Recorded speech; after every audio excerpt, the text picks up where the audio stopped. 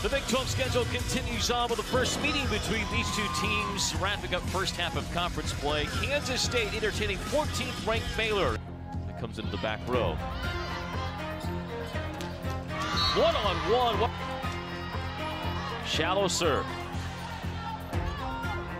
Harrison off the block.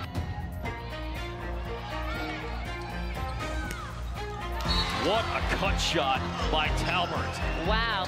Serve. Baylor out of subs. So they're kind of stuck where they're at. Carter blocks. Baylor goes back in front by one. As aggressive or as gentle as that. Carter to serve. Shallow. Quick set McGhee, and that's lethal. Bolding serving. Puts it on Briseño. Harrison.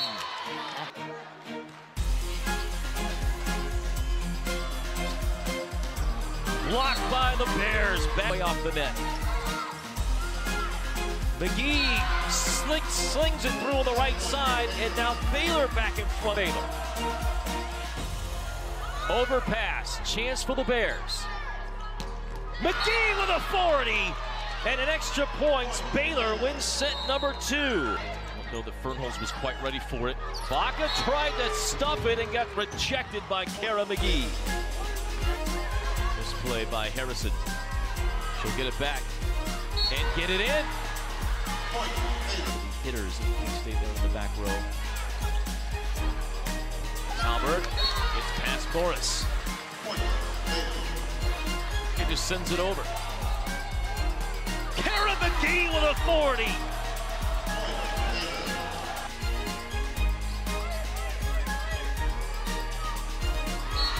The answer. For two sets in a row, Baylor unable to handle the serve, and they see that one go out. The error by Myers gets it off the top of the block. Harrison pushes it forward, and McGhee gets the quick set finish. She'll serve. McGhee the answer, and blocked. And McGhee finishes the rally.